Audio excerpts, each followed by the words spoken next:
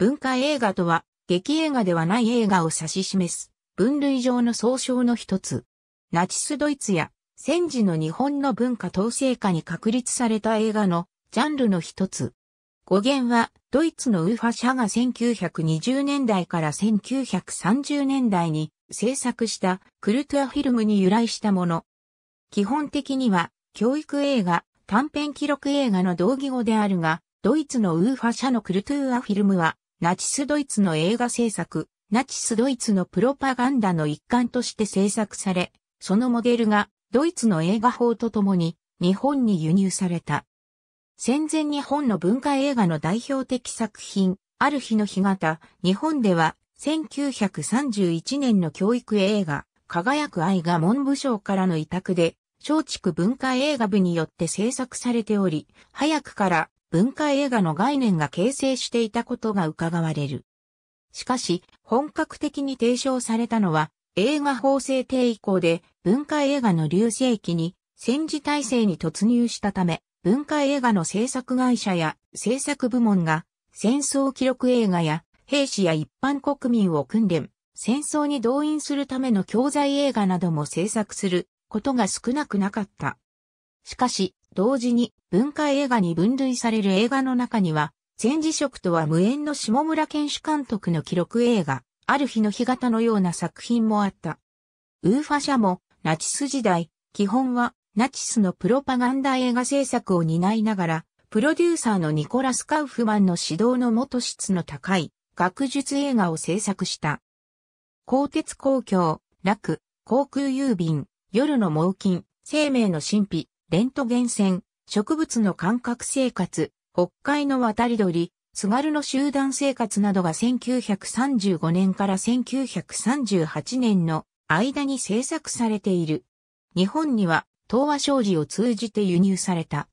東方文化映画部は、上海や上映禁止となった戦う兵隊といった亀井文夫の戦争記録映画などで知られている。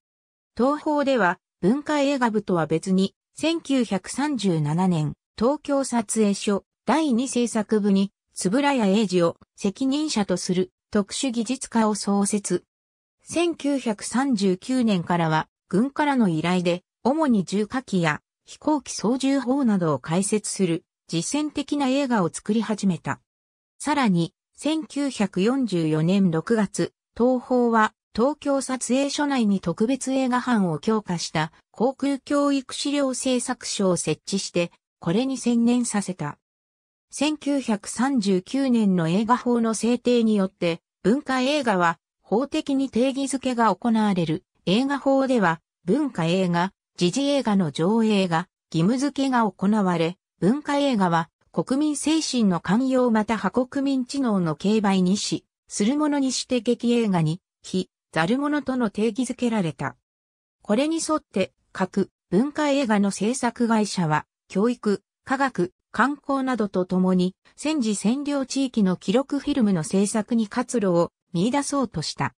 一方、東方文化映画部は、1941年5月、日本ニュース映画社から改祖された社団法人日本映画社に松竹の文化映画部と共に吸収合併された。